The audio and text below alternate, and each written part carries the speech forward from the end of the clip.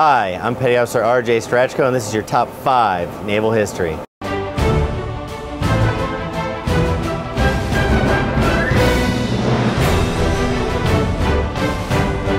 Number five, there are three major classes of warship at the inception of the Navy.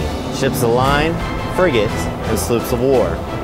Ships of the line were the largest with 64 to 100 guns. Sloops of war were the smallest with 10 to 20 guns. Number four, the voyage of the Great White Fleet. It took 14 months and showed to the world that the U.S. had become a major sea power. President Theodore Roosevelt ordered the battle fleet to circumnavigate the globe.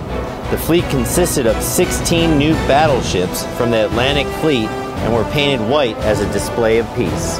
Number three, the Battle of Coral Sea.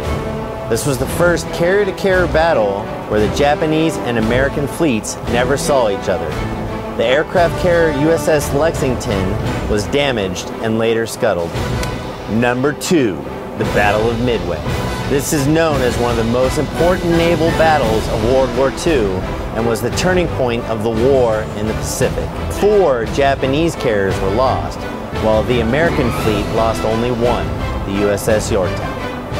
And number one, the oldest U.S. Navy commissioned vessel, USS Constitution, is a wooden hull, three-masted, 44-gun heavy frigate signed into law by the Naval Armament Act and named by President George Washington.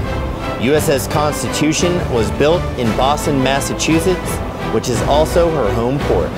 I am Petty Officer R.J. Strachko, and this has been your top five naval history.